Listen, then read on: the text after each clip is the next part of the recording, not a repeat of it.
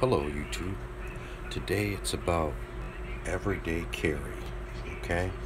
What do you have in your pocket right now? Alright? Usually every day I have that. That. I got a chapstick. Wallet. ZT. Keys. And whoops, sorry about the finger.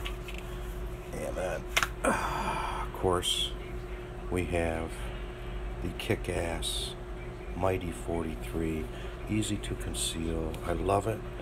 Um, 1932.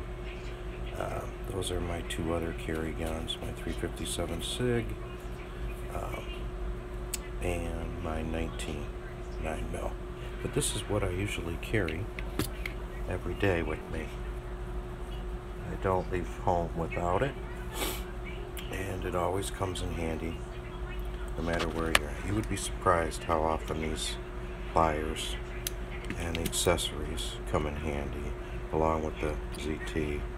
And of course you know this light chapstick. Um, it's all util utilized when you need it. Um, once in a while I'll have my radio with me, uh, emergency radio, but uh, that's about it.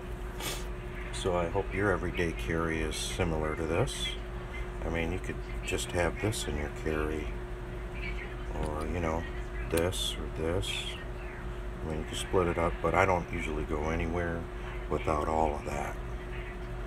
And uh, that won't stop until I get uh, dementia or Alzheimer's or whatever. I'll keep all my stuff with me and I'll keep going at it. You never know. You break down, you have some issues, you got your equipment. Okay, YouTube, have a good one. Bye.